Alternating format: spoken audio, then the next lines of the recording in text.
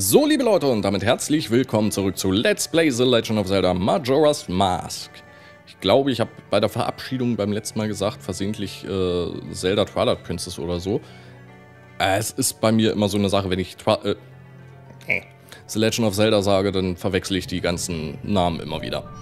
Tut mir leid. Aber was wollen wir denn in diesem Part machen? Ja, in diesem Part wollen wir erstmal in der Zeit zurückreisen. Und das werden wir auch tun. Nämlich genau jetzt. Und dafür brauchen wir die Hymne der Zeit.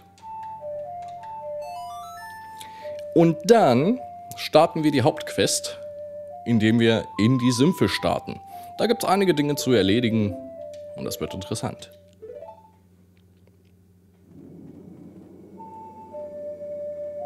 Du, du,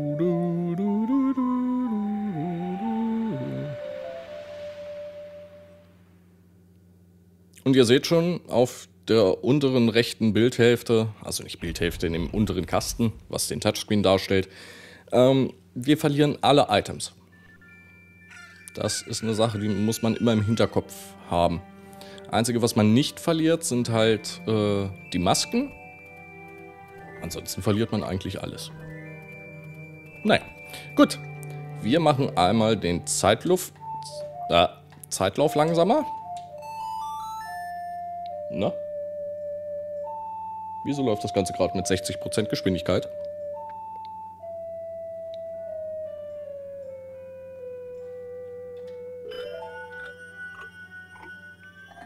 Das sind halt diese Frame Downs, die ich mal angesprochen habe. So, zack, sind wir wieder bei 100. Interessant. Aha. Wer ist das denn? Ein Junge mit Fuchsmaske. Hm, wird noch interessanter, aber das dauert noch. Stehen geblieben. Was hast du in den Sümpfen zu erledigen? Außerhalb der Stadtmauern lauern unzählige Gefahren. Ich kann es einem Kind nicht... Äh, ein Schwert. Oh, ich bitte um Verzeihung. Das passiert übrigens jedes Mal. Immer und immer wieder. Sei denn, wir haben mit den Wachen einmal gesprochen. Theoretisch gesehen kann ich ja auch mal...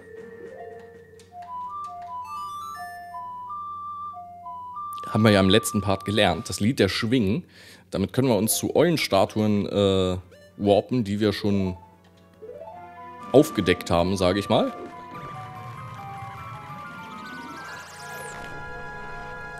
Und wenn ich das mache, dann droppen die Frames.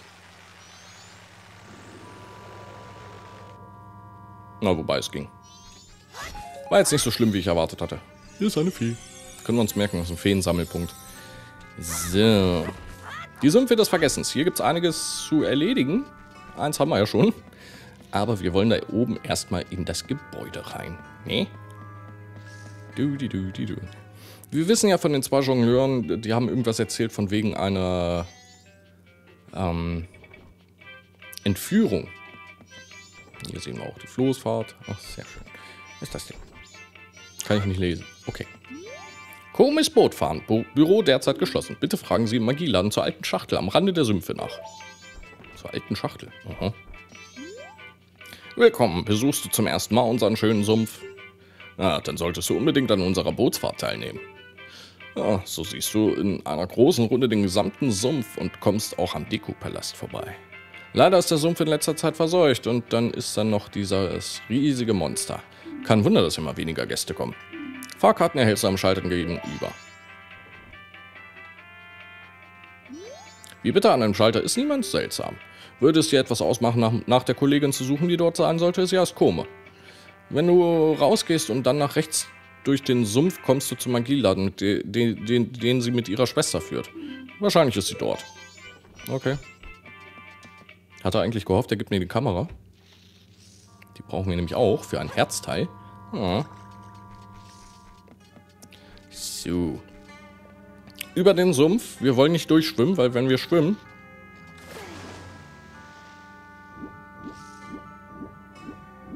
Bekommen wir keinen Schaden? Jetzt bin ich verwirrt. Das ist wahrscheinlich erst ab da vorne.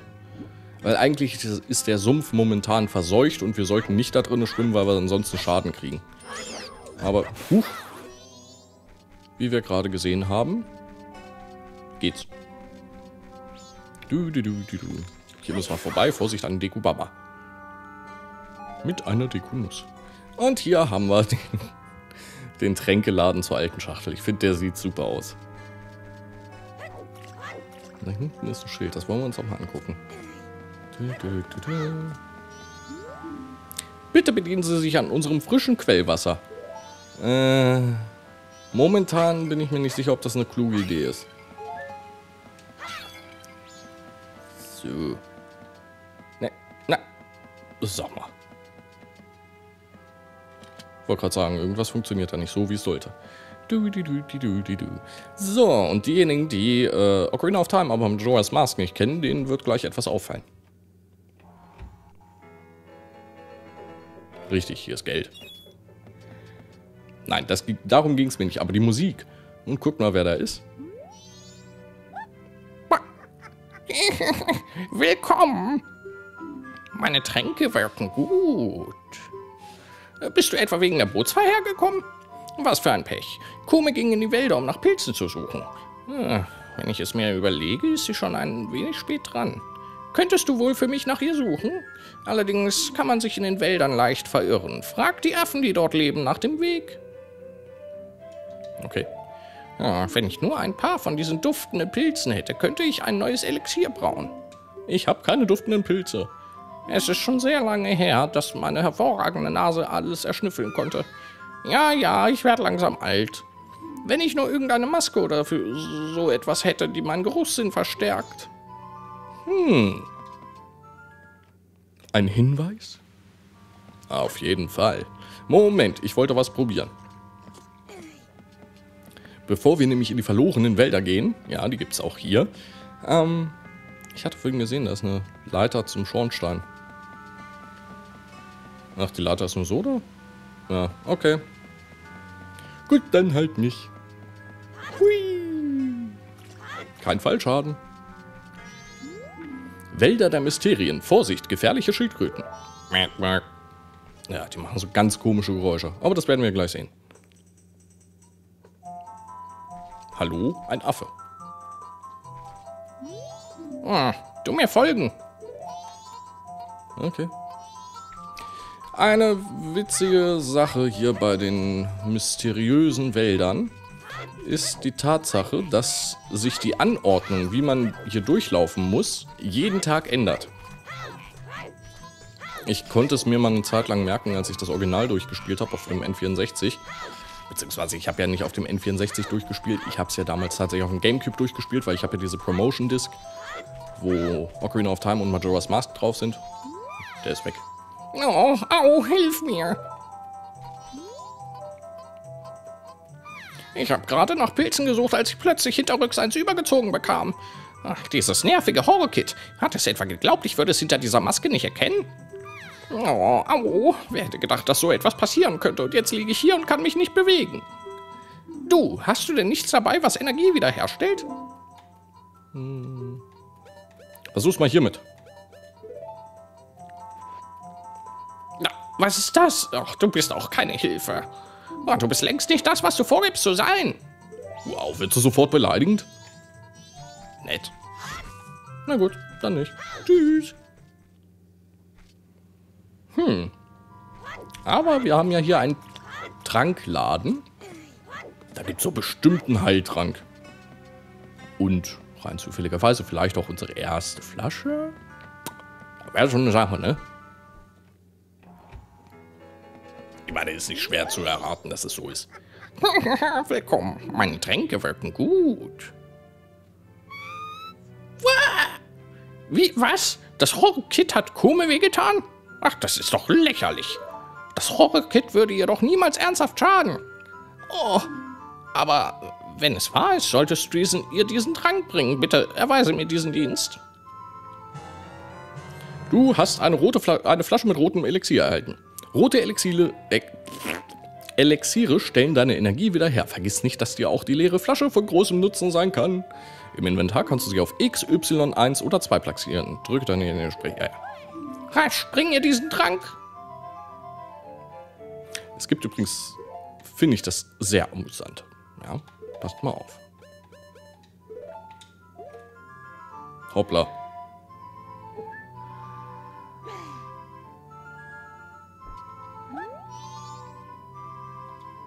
Hm, wenn ich nur ein paar von diesen... Ja, ja. Hm?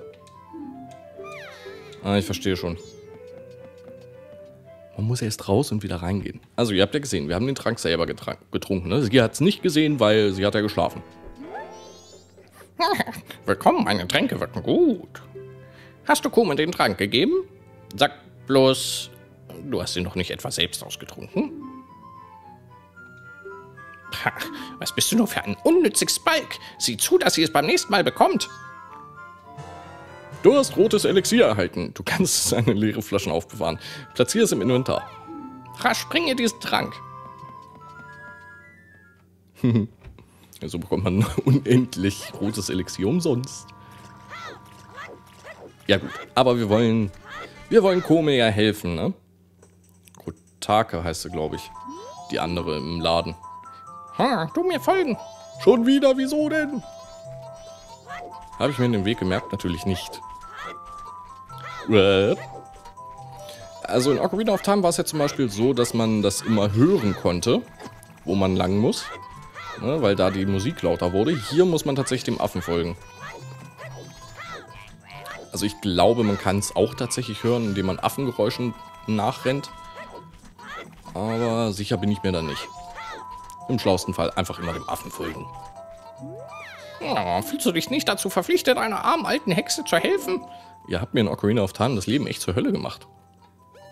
Aber da hast du. Na, die Farbe, der Duft, das ist eindeutig Kotakis. Tja.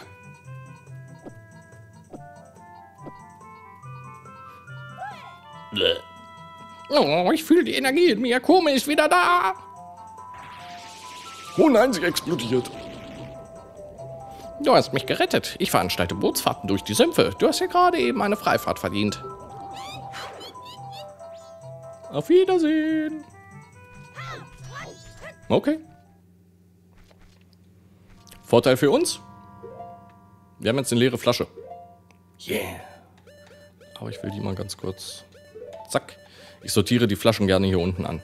Ich glaube, es gibt im Majora's Mask insgesamt sechs Stück. Das ist damit absoluter Rekord für Zelda-Spiele. Gras schneiden, Gras schneiden, Gras schneiden. Konnte man Breath of the Wild nicht tun, das muss ich jetzt alles nachholen. Ja, ja. Ah. Na gut, Bootsfahrt. Dann wollen wir doch mal zur Bootsfahrt. Ich bin gerade am überlegen, wollen wir uns ein,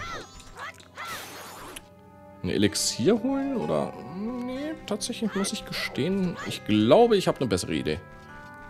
Ich komme mit der Kamera noch nicht so zurecht. Au! Oh, gibt auch eine Dekonuss. Ein Deko-Stab wäre zwar nicht schlecht gewesen, aber soll's. Äh... Achso, ich zeig mal ganz kurz, wie man hier eigentlich rüberkommen soll. Ne? Kennen wir ja aus, aus dem Geheimgang zum Observatorium. Was nicht wirklich ein Geheimgang ist, sondern ein Gang. Dekolink kann über Wasser springen.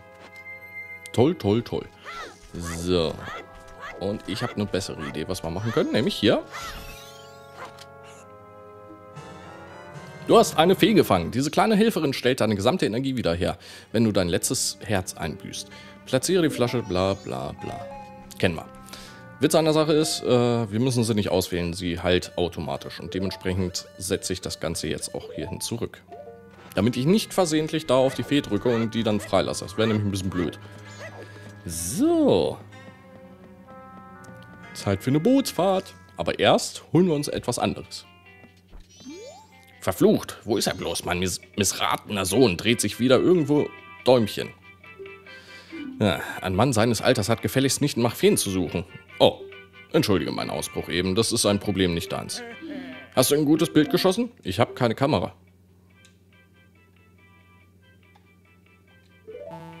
Oh, habe ich dir noch nicht vom Fotowettbewerb erzählt? Das Sumpf Info Center veranstaltet gerade einen Fotowettbewerb. Leute aller Altersgruppen dürfen daran teilnehmen. Für hübsche Bilder, die im Sumpf gemacht wurden, erhältst du wahlweise einen Geldpreis oder eine Freifahrt. Alle Teilnehmer der Bootsfahrt erhalten eine Fotobox. Du darfst dir, das darfst du dir nicht entgehen lassen. Hm. Oh, nochmals herzlichen Dank für deine Hilfe. Als Belohnung darfst du umsonst in mein Boot mitfahren. Wir haben gerade eine Aktion am Laufen, daher bekommst du das hier gratis. Du hast die Fotobox erhalten. Berühre Fotobox, um durch den Sucher zu blicken.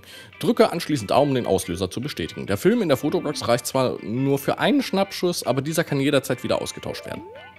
Gelingt dir ein hübscher Schnappschuss, bring ihn zu dem Kerl da drüben. Also gut, die Fahrt geht los.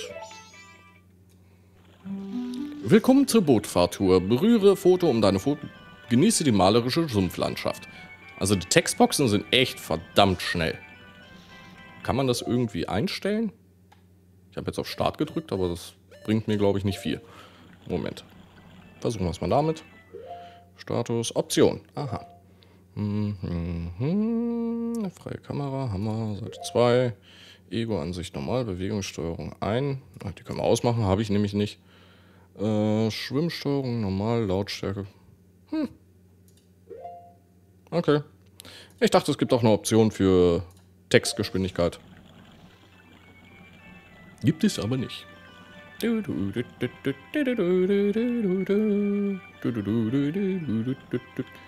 Toll, toll, toll. Sieht das nicht schön aus? Schön in 4K. Mhm. Also hochgerendert natürlich. Ja. Ist ja kein natives 4K, dürft ihr nicht vergessen. Sieht trotzdem richtig gut aus. Ein Bienennest. Das ist gefährlich. Oh nee, oh nee, oh nee, oh nee. Bäh. Jetzt sind wir nass. Na toll. Ein Frosch. Müssen wir uns auch noch merken. Bitte sehen Sie jetzt nach vorne. Ein Grutz.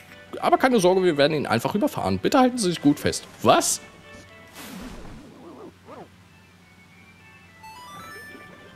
Ich merke schon, Naturschutz wird hier nicht groß geschrieben, wa?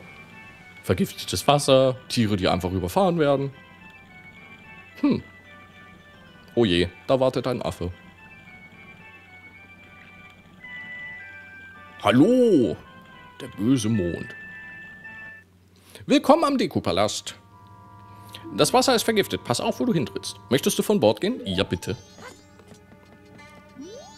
Du sein sehr mächtig. Ich dich beobachtet im Wald. Oh je. Sumpf sein voller giftigem Wasser seit einiger Zeit. Der Mawai-Tempel mitten im Sumpf verdächtig, aber wir nicht finden Eingang. Tempel nur für Deko. Bruder geht zu Deko-König, um in Tempel gelassen zu werden. Aber Deko nicht verstehen und Bruder einen Palast gefangen halten. Jetzt Bruder und Sumpf beide in Gefahr. Hilfe! Okay, ich folge dir einfach mal, ohne dass du mir sagst, dass ich dir folgen soll. Oh je. Deku-Palast. Das ist ein Palast der Dekus. Und hier war auch eine Speicherstelle. Jo, Tatsache. Hm, rein vorsichtshalber. So. Wir müssen zum Dekopalast, denn wir wollen etwas machen. Hallo?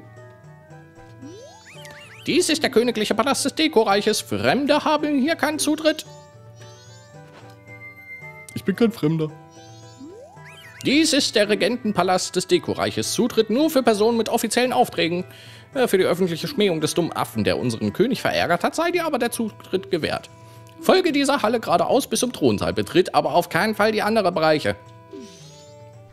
Hm. Machen wir das jetzt in diesem Part? Und wenn man hier so lang guckt. Ich bin mir gerade nicht mal sicher, wo so. Ups. Aha, Eindringling! Au. Na gut, ich hab's irgendwie verdient. Wir haben dir doch gesagt, du sollst direkt zum Thronsaal gehen. Normalerweise dürftest du gar nicht eintreten, also befolge unsere Anweisungen. Folge dieser Halle geradeaus bis zum Thronsaal. Betritt auf keinen Fall andere Bereiche. Das ist keine Halle, das ist offen. Seht ihr das? Da ist keine Decke. Naja, gut, gehe ich rein.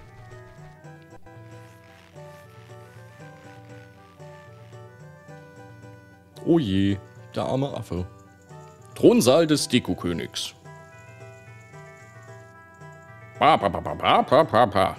So, und das ist jetzt relativ wichtig. Wenn wir jetzt nämlich hier ja, ein bisschen blöder Winkel. Ach komm, spring doch nicht runter, Link.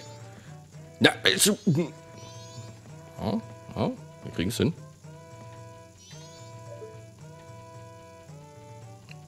Er rastet aus. Äh. Jetzt, jetzt, jetzt, jetzt wäre ein guter Zeitpunkt. Ja. Willst du dieses Bild behalten? Ja. So, und den Rest machen wir tatsächlich im nächsten Part.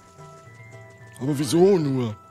Weil wir können jetzt mit dem Bild nämlich zurück zum äh, Bootsfahrfachangestellten, keine Ahnung, und können uns damit tatsächlich ein Herzteil holen. Das machen wir auch.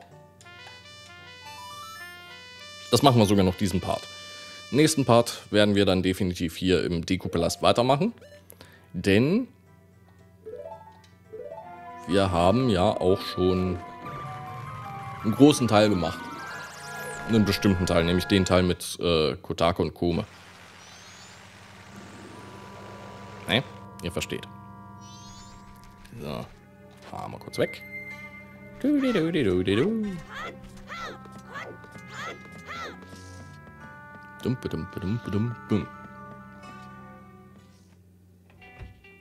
Hallo, ich habe ein Foto.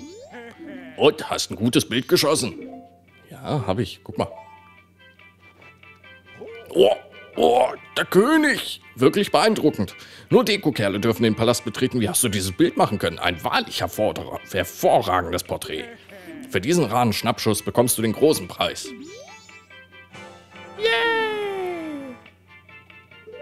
Zwei dahin, noch zwei im Sinn. Ich freue mich schon auf dein nächstes Bild. Der Fotowettbewerb.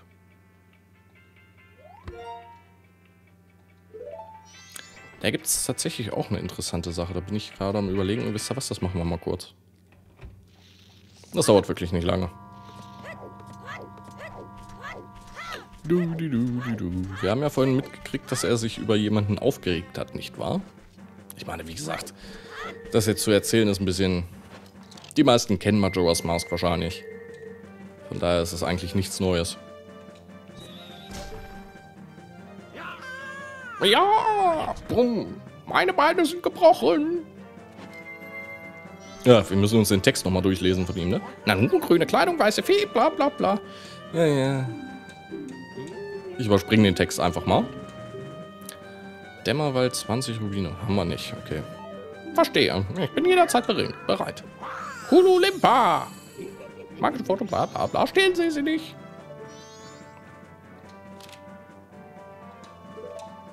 So, das ist alles, was ich wollte. Ein Bild von Tingle. Jetzt schnell zurück zum Sumpf-Info-Center.